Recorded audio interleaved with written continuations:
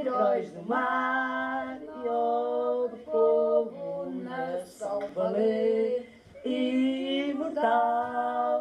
Helena.